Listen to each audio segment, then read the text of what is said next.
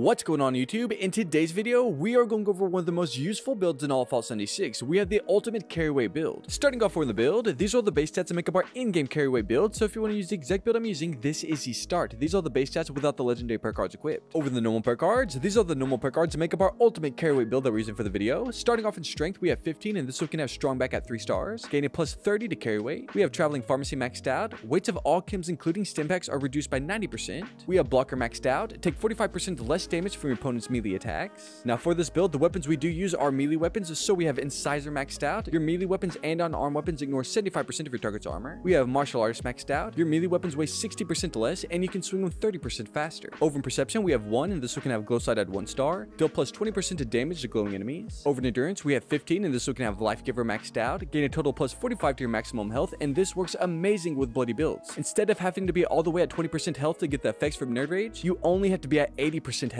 We have Chem Fiend at 2 stars, any you take lasts 60% to longer, and we are taking Psycho Buffs in this video. We have Adamantium Skeleton maxed out, your limb damage is now completely eliminated. We have Fireproof maxed out, take 45% less damage from explosions and flame attacks. We have Radicool maxed out, the greater the rats, the greater the strength, a max plus 5 to strength. We have Rejuvenated maxed out, gain even better benefits from being fully fed and fully hydrated. Over in Charisma, we have 5, and this one can have Tenderizer maxed out. Make your target receive 10% more damage for 10 seconds after you attack. We have Strange in Numbers maxed out. Positive mutation effects are plus 25% stronger if teammates are also mutated. And sadly, we don't have any teammates, but if I was to run this build, this is how I'd be running it in the normal worlds. Over in Intelligence, we have 6, and this one can have batteries included maxed out. Energy weapon ammo weighs 90% less, and this is fantastic because energy weapon ammo weighs a freaking ton. We have Nerd Rage maxed out, below 20% health, gain 40 damage resist, 20% to damage, and 15% to AP regen. Over in Agility, we have 15, and this we can have Action Boy at 1 star. Action points regenerate 15% faster. We have Thru-Hiker maxed out. Food and drink weights are reduced by 90%, and this is fantastic because we are carrying a ton of food on us. We have Evasive maxed out. Each Agility point adds a plus 3 to damage and energy resist, max 45, no power armor. We have Adrenaline maxed out. Gain a plus 10% to max 60% to damage for 30 seconds per kill. Duration refreshes with kills. We have Dodgy maxed out. Avoid 30% of incoming damage at the cost of 30 action points per hit. Over in luck, we have 15, and this one can have Bloody Mess maxed out. 15% bonus damage means enemies may explode in a glory red paste. We have Serendipity maxed out. While below 30% health, gain a 45% chance to avoid damage, no power armor. We have Ricochet maxed out. Gain an 18% chance to deflect back some of your enemy's range damage, no PvP. We have Class Freak maxed out. The negative effects from mutations are reduced by 75%. We have Starched Genes maxed out. You'll never mutate from rats, and Radaway will never cure your mutations. And we have Good with Salt at 1 star. Food in your inventory will spoil 30% slower. This is it though. These are the normal perk cards that make up our in-game carry weight build. And now let's get into our legendary perk cards. Over in the legendary perk cards, these are the legendary perk cards that make up our in-game carry weight build. Starting off in intelligence, we have that card maxed out. We have endurance maxed out, strength at 3 stars, luck at 3 stars, hack and slash maxed out, and exploding palm maxed out. These are the legendary perk cards. Now let's get into my armor, weapon, and mutations. Over in the armor, what I'm using is a full set of unyielding gear, which gives us a gain up to plus 3 to all stats except endurance when low health. So this means it boosts our strength, which boosts our damage and boosts our carry weight. Now also recommend you getting a full set of plus 1 strength to your armor, but sadly I do not have that. Over the mods, whatever armor you are using, I do recommend the deep pocketed mod because this gives us a plus 10 to carry weight on each piece we have it equipped to. For our backpack, we're using the normal backpack with the high capacity mod, which gives us a 120 to our carry weight. For the Under Armour, we're using the shielded Secret Service Under Armour, and this gives us a plus 4 to strength, a plus 2 to perception, and a plus 4 to endurance. Over the weapons, we have three different weapon types that we're using for the video. We have an unarmed weapon, we have a gladiator weapon, and we have a slugger weapon. Starting off with our unarmed weapon, we have the bloodied mole miner gauntlet, and the bloodied effect gives us the damage increases with the health decreases, and we also have the 40% faster swing speed. Over the mods, what we're using with this weapon is the extra blade to get the maximum damage out of this weapon. We have the bloodied plasma caster, which gives us the damage increases as health decreases, and we also have the 40% faster swing speed with this. And over the mods, what we're using is the cryo blade because that's my personal favorite blade. And for our slugger weapon, we have the bloodied warglaive, which gives us damage increases as health decreases, has the 40% faster swing speed, and we also have the cryo blade with this weapon. Over the mutations, these are all the mutations that we're using for the build. We have adrenal reaction, bird bones, carnivore, eagle eyes, egghead, healing factor, marsupial, speed demon, and twisted muscles. Now if we make our way over to the food and chem buffs, these are all the food buffs that we're using for the video. These will boost your damage and your carry weight. Starting off, we have broiled scorched beast brain, which gives us a plus 6 to intelligence. We have charged scorched beast liver, which gives us a plus 6 to luck. We have deathclaw wellington, which gives us a plus 6 to strength. We have mutant hound chops, which gives us a plus 20% to our melee damage. We have the pepperoni roll, which gives us a plus 60 to our carry, which is absolutely insane. We have the Roasted Scorch Beast Heart, which gives us a plus 6 to endurance. And we also ate the Scorch Beast Steak, which gives us a plus 30 to damage resist. Now over in our Chem buffs, we have our trusty Psycho buffs, and this gives us a plus 25% to damage, a plus 3 to strength, a plus 3 to endurance, and a plus 65 to max health for 3 minutes. With all that equipped and activated, we're sitting at a carry weight of 659. Now if we had the plus 1 to strength on all of our armor pieces, that would be boosted up even more, and if I actually had teammates. Sadly, I do not, but with this being said, now let's get into some demonstrations. To begin our demonstrations with our all-powerful carry weight melee build, we've made our way over to the West Tek Research Center, and that's because there's a ton of disgusting super mutants over here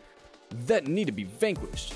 There we go. Look at that. Two shots. We hit over a thousand with this build, and we have no melee perks. Well, besides inside our martial artist, but still, look at that. Holy crap, we just one-shot that dude straight to the face. What about you, sir? All right, maybe if we can get a critical in there. There we go. Absolutely amazing. Get off of me, doggy. Now we're going to switch over to our little plasma cutter. There we go. 615. And that wasn't even a heavy hit. Oh my god. Hello, sir. Would you like to feel the power of the plasma cutter? and you're dead. I am extremely impressed because this is mainly focused on carry weight. This build will get you absolutely through this game and also carry everything you have. Hello, sir. Is that all you've got, brother?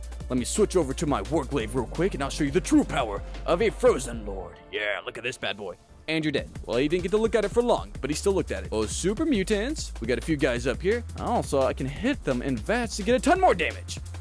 Look at that. Oh my god, it killed both of them. The next Wasteland monstrosity on our list for the demonstration is to feel the power of this carry weight build. We have the level 100 glowing behemoth that goes by the name Chad. As you can see, he just woke up, he's screaming, he's yelling, and we're gonna sneak in here and start hitting him with the kneecaps. There we go. Oh my god, my face. A couple 500s, look at that, 521. Let me chill myself real quick. There we go, we're gonna hit him in the face. That's his critical shots. Okay, we're missing the face. Maybe. Oh, okay, here, maybe if I just look up. Oh, sorry, sir. Sorry about this. There we go. All right, as you can see, I cannot see the numbers, but he's almost dead. Let me switch to my Warglaive. One shot, and he's no more. That was over the thousands though. For my next target on the list to feel the wrath of the carryweight build, we have my arch nemesis of Vault 51. We have the level 75 Scorched Overseer that goes by the name Nancy. And holy crap, they're starting off strong. You see that? Oh my gosh, Nancy, now let me just slash and gash you with my plasma cutter. Look at that health just dropping. Let's just switch over to the Warglaive real quick because we know this is the most powerful one. Oh, where's all your Scorch friends at, Nancy? Just gonna blast you in the face. There we go. Two shots and she's dead. God dang, they can withstand the power of the carryweight build. What about you, Zax? Could you withstand the power of the carryweight build? If you enjoy fall content like this and you want to see more, I also made a video over one of the best hybrid builds in all Fallout 76. So if you want to check it out, I'll link in the screen right now. You see that? That is my hybrid build video.